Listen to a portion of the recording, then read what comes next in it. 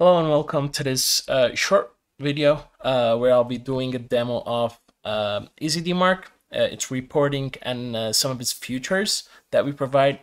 Uh, now, uh, when a user signs up on our system, we essentially let him add the domain that he wants to deploy DMARC on, and we provide the user a DMARC record that needs to be added in the DNS zone of that specific domain.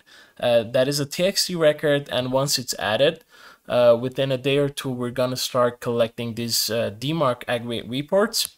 And those reports will be parsed into four different sections in here, which we'll be going over and uh, essentially give you an overview of what sources are being used to outsend emails from your organization's domain.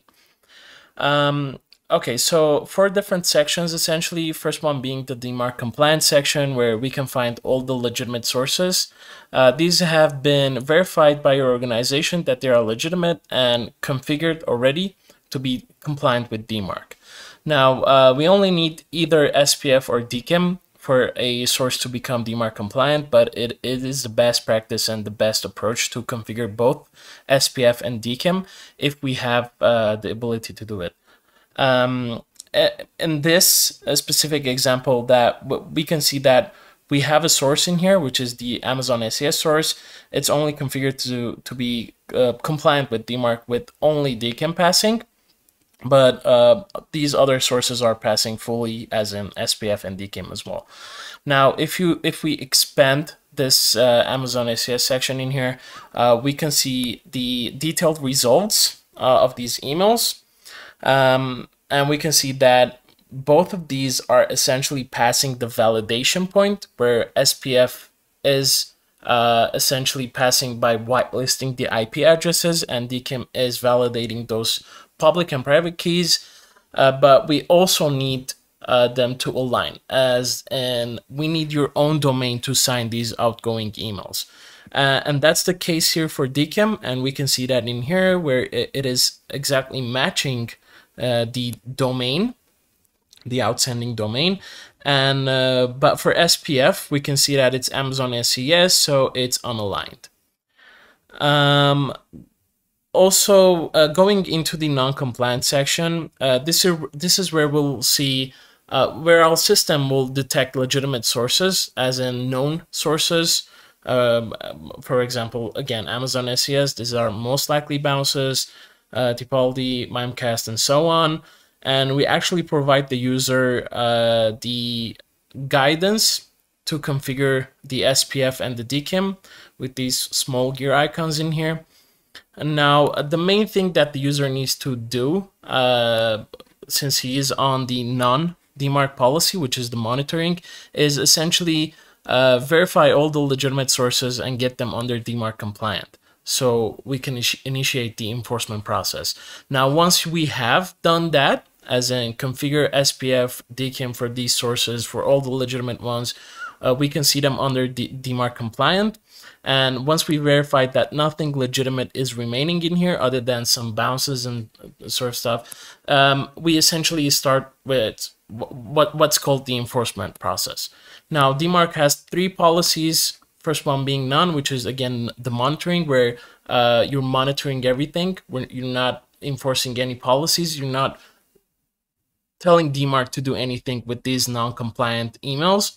But once we start with the enforcement, we have the quarantine policy where quarantine essentially sends those non-compliant and threat emails into the spam box of the users and we the last policy that we have is reject where uh, DMARC essentially rejects the non-compliant emails. Uh, so again uh, getting everything from uh, under non-compliant that is legitimate under DMARC compliant is the first goal. So we can start with the enforcement process and get all these uh, non-compliant emails and again phishing attacks which we can find under the threat and unknown section to be rejected and essentially lock down the domain from phishing attacks and abuses.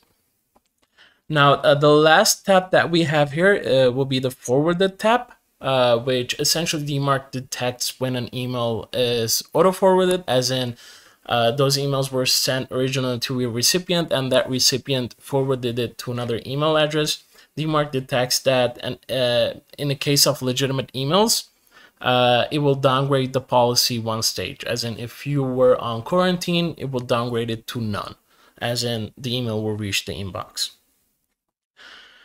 Um, we also have what we, what's called the failure reports or forensic reports. Um, they are not that common. Uh, most ISPs don't support it. Major ISPs, Google, Yahoo, and so on, they don't support it. So only a couple of them will show up. There are rare cases, but uh, it essentially gives you the ability to see some more uh, private data in here. For example, the sender IP and the subject of the email.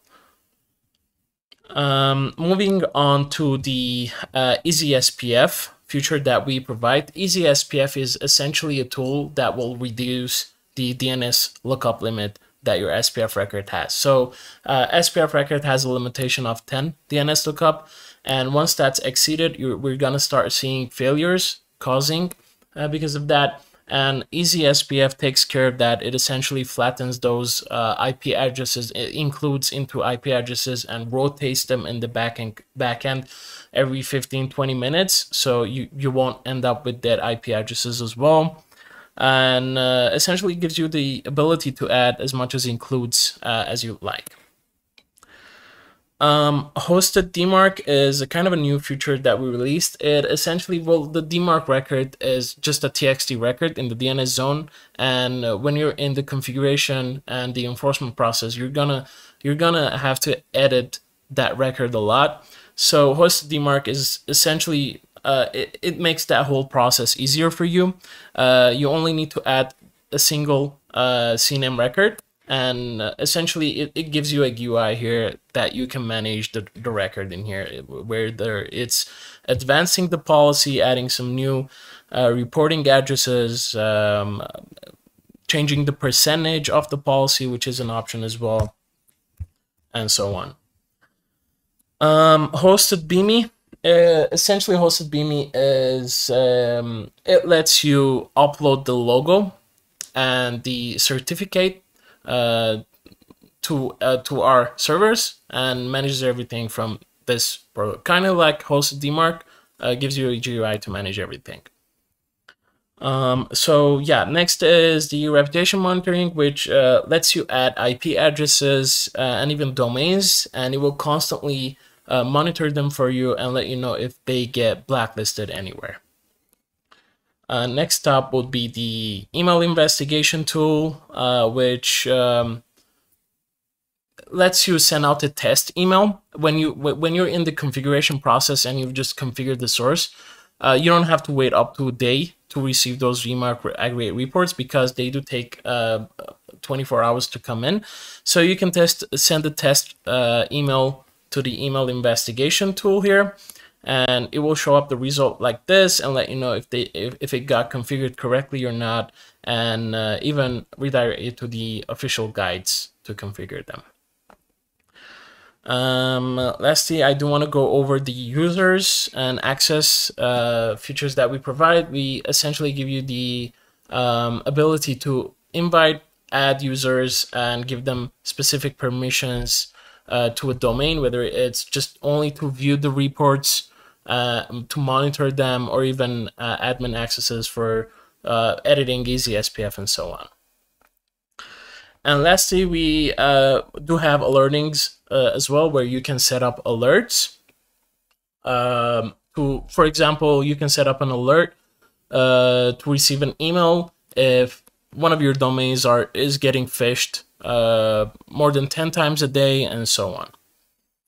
Um, last thing before we end the video, I want to mention um, that MTA-STS and TLS reportings, we do have lookup tools for them where you can look up and generate the records.